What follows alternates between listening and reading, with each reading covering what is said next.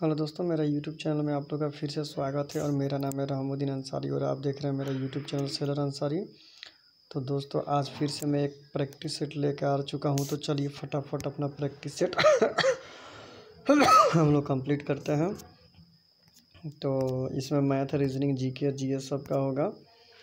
तो चलिए इस पर हम लोग प्रैक्टिस सेट अपना कंप्लीट करते हैं। दोस्तों, वीडियो शुरू करने से पहले आप लोग से रिक्वेस्ट है कि मेरा चैनल का नाम सेलर अंसारी है तो इसे आप सब्सक्राइब कर दीजिए।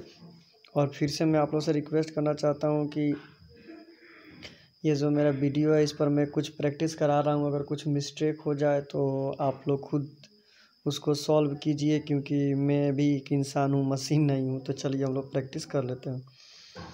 एक नंबर क्वेश्चन है किंग मार्टिन लूथर कौन थे? तो किंग मार्टिन लूथर कौन थे? तो ये अमेरिका के निग्रो नेता थे, यानी अमेरिका के नेता थे। नेक्स्ट क्वेश्चन की तरफ़ बढ़ते हैं। जो जिला दर्रा कहाँ स्थित है? तो ये जम्मू एंड कश्मीर में आपका जो जिला दर्रा जो है, वो पड़ता है। नंबर तीन की बात कर ले। नीति शतक के रचनाकार कौन थे? तो भरती हरीर थे। कालिदास तो होंगे नहीं पाणी होंगे नहीं बाणभट्ट होंगे नहीं। नंबर चार की बात कर ले। बाल गंगाधर तिलक को भारतीय असंतोष का जनक किसे कहा जाता है? तो एमस्टस ने कहा था। नंबर पाँच की बात कर लें, ओलंपिक 2012 कहाँ हुआ था? तो ये लंदन में खेला गया था। नंबर छः की बात करें, भारतीय नौसेना को विमान वाहक पोत एडमिरल गोर्स्कोवा को निम्नलिखित में किस देश से आपूर्ति की गई थी?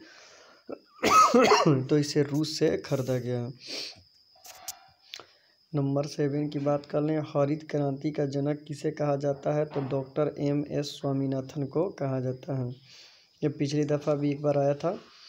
नंबर आठ की बात कर लें, राष्ट्रीय विज्ञान दिवस किस तिथि को मनाया जाता है तो ये आपको अट्ठाईस फरवरी को मनाया जाता है। नंबर नौ है, प्रसिद्ध चित्र मोनालिसा किसकी आकृति है? तो लिनो द विंसी की। है बहुत दफ़ा एसएससी के भी एग्ज़ाम में ये पूछा जाता है।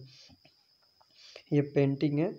दीन इलाही धर्म का संस्थापक कौन थे? तो दीन इलाही धर्म के संस्थापक अकबर थे और इसे सबसे पहले इस धर्म को अपनाया था बिरबल ने। नंबर ग्यारह, निम्नलिखित में से कौन सा कथन गलत है? तो मदर टेरेसो का यह पुरस्कार शांति के क्षेत्र में नहीं, बल्कि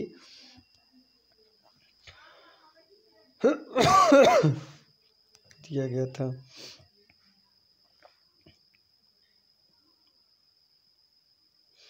नंबर बारह की बात करें भारत में सर्वाधिक अभ्रक तथा कोयला कहाँ पाया जाता है? तो सबसे ज़्यादा आपको झारखंड में देखने को मिलता है। नंबर तेरह की बात कर लें, वन के रूप में उल्लेखित भारत का प्रतिशत भौगोलिक क्षेत्रफल अनुमानित है उन्नीस प्रतिशत। नंबर चौदह है, भारत के निम्नलिखित में से किस गोलाधर में स्थित भारत तो उत्तरी पूर्वी गोलार्ध में स्थित है। नेक्स्ट क्वेश्चन की तरफ़ दोस्तों बढ़ते हैं। पंद्रह नंबर क्वेश्चन पृथ्वी किन दो ग्रहों के बीच स्थित है? तो मंगल और शुक्र। नंबर सोलह, विश्व एड्स दिवस कब मनाया जाता है? तो एक दिसंबर को मनाया जाता है। नंबर सत्रह की बात कर लें, संयुक्त राष्ट्र संघ का मुख्यालय कहाँ है? तो ये आपका न्यूयॉर्क में पड़ता है, यूएस। नंबर अठारह, महाभारत किसने लिखा था? तो महिर, महर्षि वेद ने लिखा था। नंबर उन्नीस, अजंता किस राज्य में स्थित है? तो महाराष्ट्र में पड़ता है। नंबर बीस, काजीरंगा किसके लिए प्रसिद्ध है? तो ये रायनों के लिए प्रसिद्ध है, क्योंकि यहाँ पर सबसे ज़्यादा ये पाया जाता है। नंबर इक्कीस की बात कर ले दोस्तों, वंदे मातरम, यह गीत किसने लिखा था? तो ये बंकिम चंद चटर्जी द्वारा लिखा गया गीत था। नंबर बाईस की बात करें, भारत में दिया जाने वाला वीरता का सर्वोच्च पुरस्कार कौन है? तो परमवीर चक्र। श्री तेईस नंबर श्री हरिकोटा किस राज्य में स्थित है? तो यह आपका पड़ता है आंध्र प्रदेश में। नंबर चौबीस मध्य रात्रि के सूर्य का देश किसे कहा जाता है? तो नॉर्वे को कहा जाता है। अजीत वाडेकर किस खेल से जुड़े हुए हैं? तो ये आपके क्रिकेट के खेल से जुड़े हुए हैं।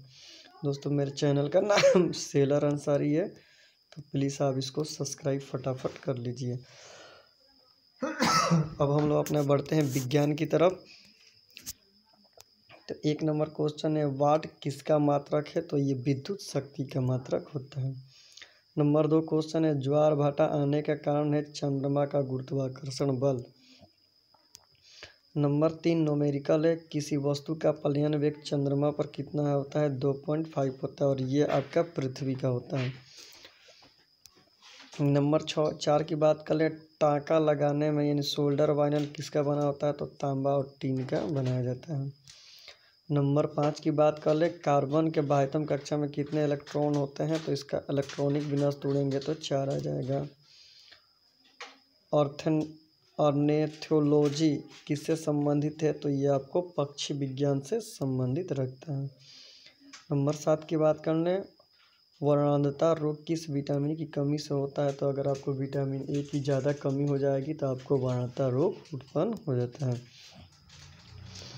दोस्तों, नंबर एट की बात करें सी सी एल की रचना होती है चतुष्फलकीय। नंबर नौ की बात करें मुख्यतः फ्यूज परिपथ में किस तार से जोड़ा जाता है? तो ये आपका फ्यूज जो होता है, गर्म तार यानी मुख्य धारा फ्यूज तार में, यानी फेस में जोड़ा जाता है। नंबर दस की बात कर ले शुरू, शुक्र ग्रह किन दो ग्रहों के बीच आता है तो बुध और पृथ्वी के बीच शुरू आता है। यदि किसी सर्किट में प्रतिरोध समांतर जोड़े जाते हैं तो कुल प्रतिरोध का विलोम सभी प्रतिरोधकों के विलोम के समानुपाती यानी अनुपात में होता है। नंबर बारह की बात करें स्कॉर्बी रोग किसकी कमी से होता है तो स्कॉर्बी विटामिन सी की कमी से होता है। दोस्तों, नंबर तेरह की बात कर लें। क्लोरीन निम्नलिखित में सबसे पहले किससे क्रिया करता है? तो आपका पोटेशियम से कर लेगा।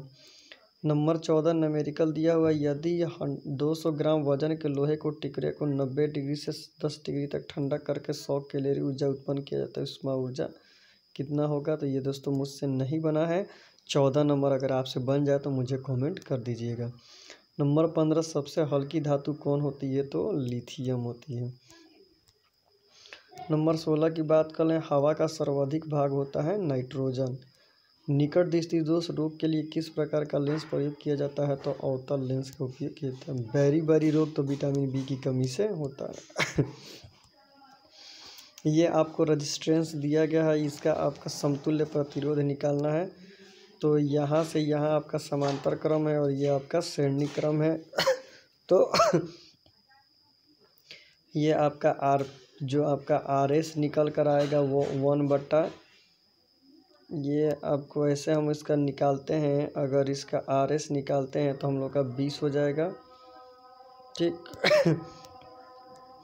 अब वन बटा आर पी निकालते हैं तो हम लोग का हो जाएगा एक बटा बीस प्लस एक बटा बीस तो ये हम लोग का लघुत्तम बीस, एक प्लस एक तो कहने का मतलब हुआ दो बट्टा में बीस हो जाएगा और कट जाएगा तो एक बट्टा दस होगा। जब इसको पलटेंगे तो सिर्फ़ दस ओम आ जाएगा।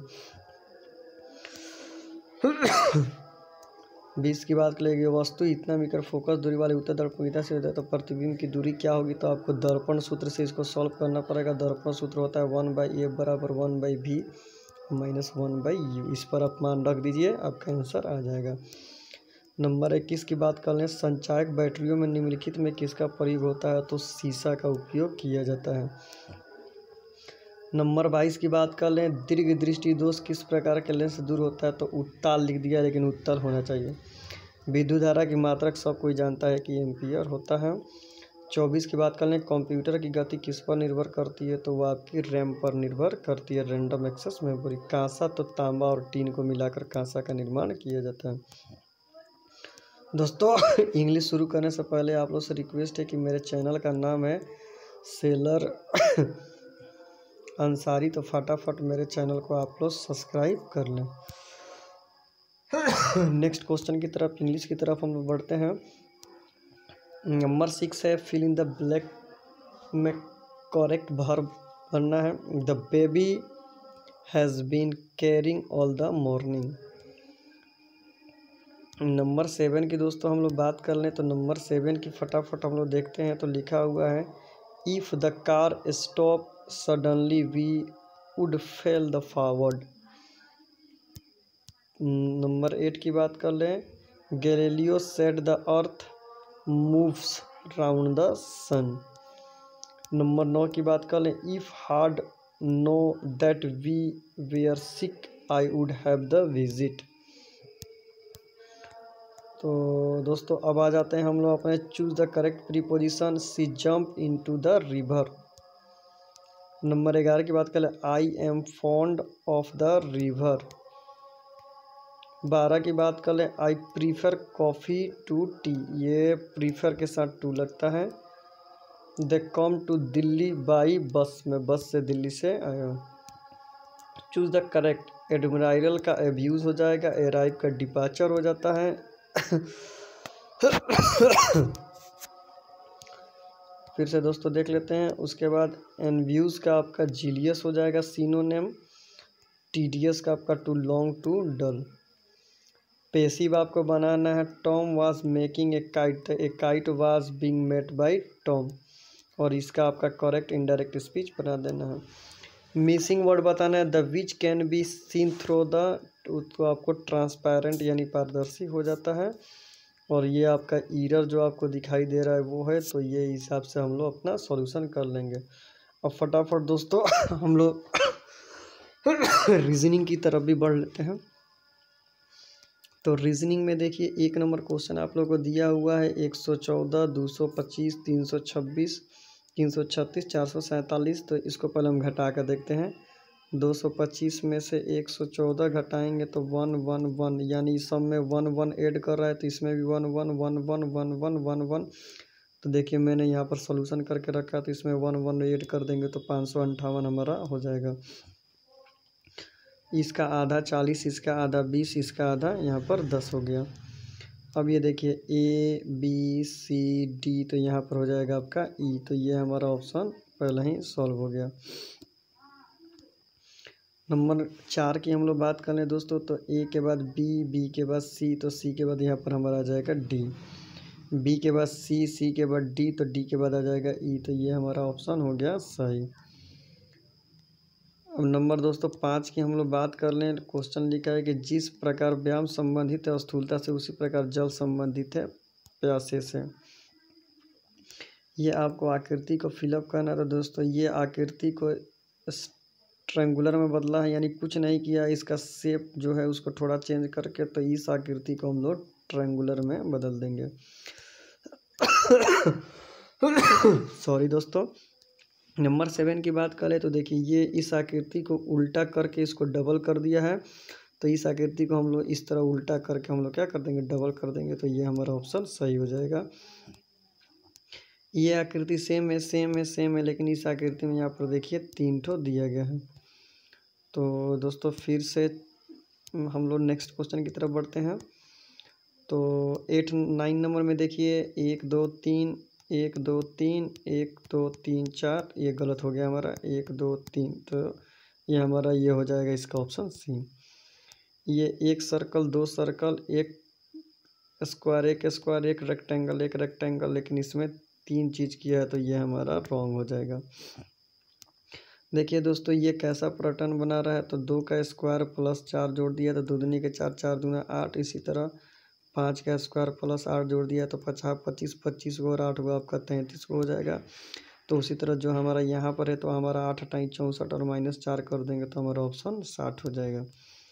दोस्तों, बारह नंबर क्वेश्चन आप लोग को खुद सॉल्व करना पड़ेगा, ठीक है? और सॉल्व करके बारह और तेरह सॉल्व करके मुझे बताइए और चौदह भी बताइए किसका ऑप्शन क्या होगा। मैं आप लोग से रिक्वेस्ट करता हूँ, अगर आप लोग मुझे बताएँगे तो मुझे बड़ी खुशी होगी।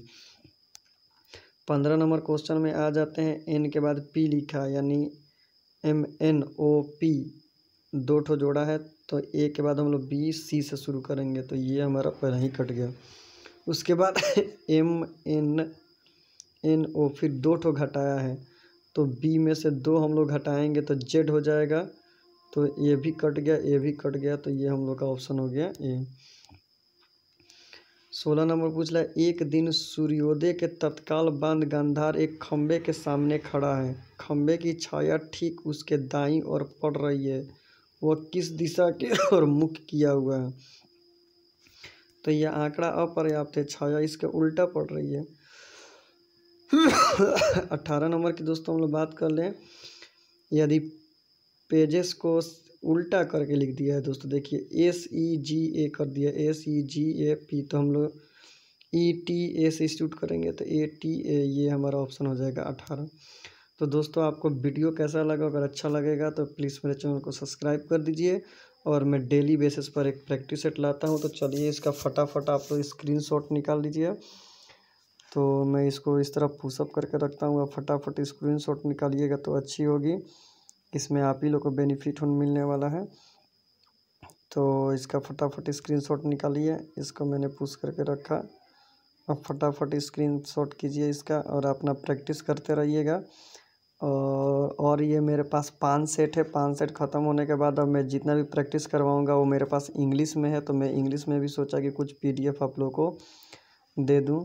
अभी जितना इंग्लिश जितना मेरा बुक है सब का मैं पीडीएफ बना रहा हूँ। और आप लोगों को प्रोवाइड भी करा रहा हूँ मेरा यही क्वेश्चन है। चलिए दोस्तों तो thank you so much for watching this video thank you दोस्तों थैंक यू थैंक यू